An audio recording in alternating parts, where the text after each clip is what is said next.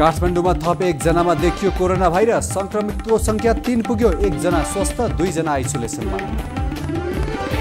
सरकारले नमुना परीक्षण गर्ने स्थान बढायो। टेकुबाहेक बिपी मेमोरियल धरानमा पनि परीक्षण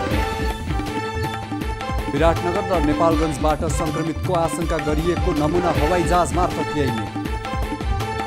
कोरोना सम्बन्धी समाचारमा एकद्वार प्रणाली लागू। कोरोनाको सम्बन्धमा प्रत्येक दिन स्वास्थ्य मन्त्रालयले जानकारी दिने।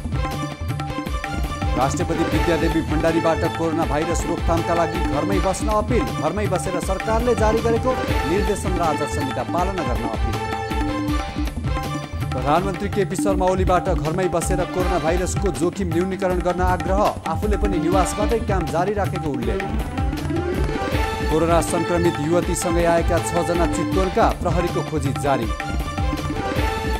मोरङको मिक्लाजुङमा रहेको क्वारेन्टाइनमा सडचालिस जनालाई राखियो। कतारबाट फर्किएका एकजनालाई आइसोलेसनमा।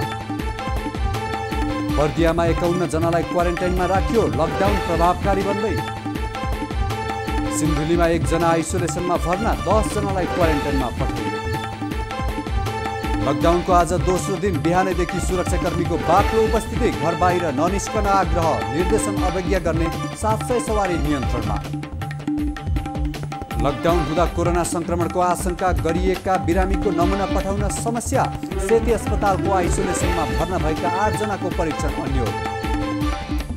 काठमाडौँबाट कन्टेनरमा लुकेर गएका चौन्नजना वीरगन्जमा पक्राउ सबै क्वारेन्टाइनमा चालक पक्राउ। खाना पकाउन बिजुली प्रयोग गर्न विद्युत प्राधिकरणको सुझाव लकडाउनमा जरिवाना नलाग्ने नेपाल चेम्बर अफ कमर्सले एक लाख पचास हजार मार्क्स दिँदै मेडिकल इक्विपमेन्ट चीनबाट ल्याइने।